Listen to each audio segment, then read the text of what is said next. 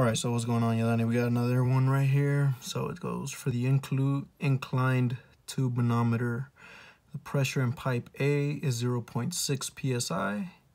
The fluid in both pipes A and B is water, and the gauge fluid in the manometer has a specific gravity of 2.6. So what's the pressure in pipe B corresponding to the differential reading shown? Cool, so let's get started.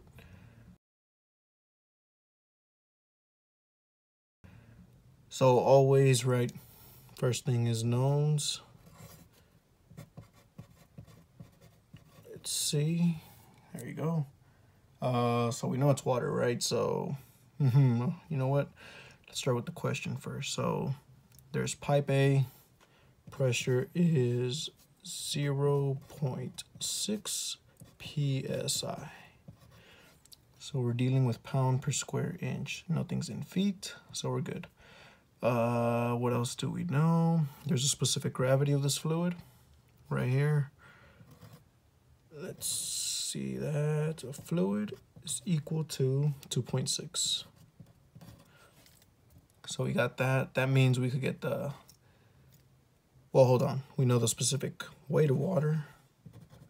That is 62.4 in English units. 62.4 pound per feet cubed and multiply this times this to get the specific weight of the fluid.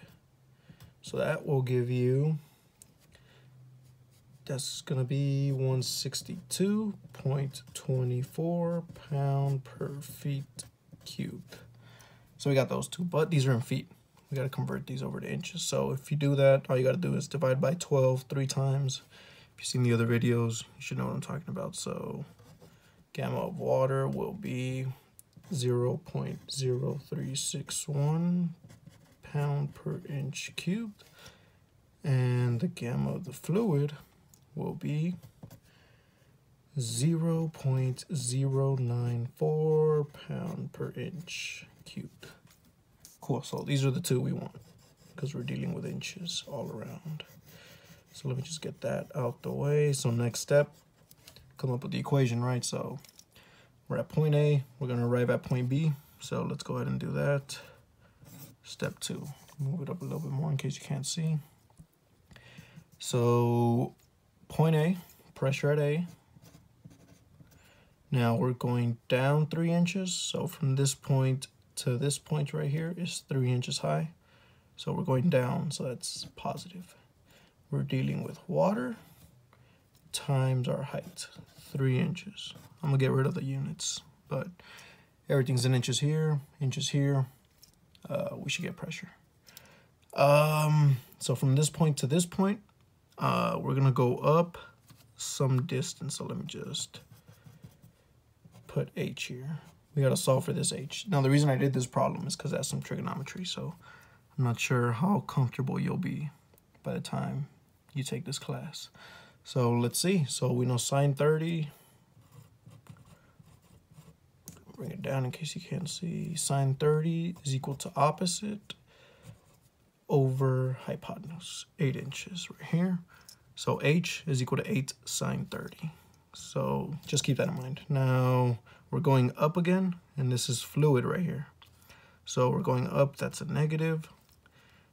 Gamma of the fluid, right, times your height, which is 8 sine 30. Now we're going from this point to this point. We're going up again, so that is a negative. We're dealing with water. Now your height. Here, they gave it to us, 3 inches. So cool. Again, you want vertical heights, not this distance right here. You want the up and down. Uh, and then we arrive at point B, pressure at point B. So let's go ahead and plug in. This is 0 0.6 right here plus 0 0.0361 times 3 minus gamma fluid. That is 0 0.094. Sine 30 is just 0 0.5 times 8. That is 4. Minus, now water again, right? 0.0361 times your height 3 is equal to PB. So cool, we know everything. Let's do a little bit of algebra. 0 0.6 plus, that's going to give you 0, 0.0, not 0, I'm sorry, 1.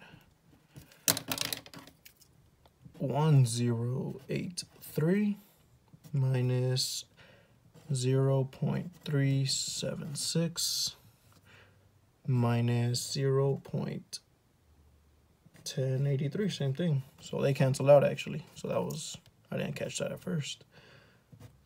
Equals PB, do the math, you get PB, move it up in case you can't see it.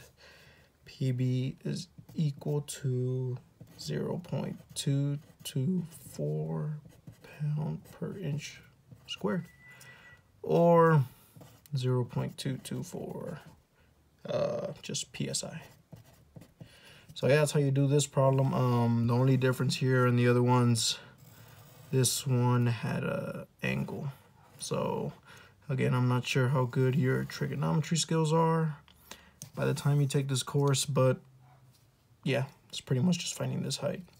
So I want to do another one with an angle, um, but there's a decrease in pressure at one of these. That's a little trickier, um, but I guess when we get there. But yeah, that's it for this one.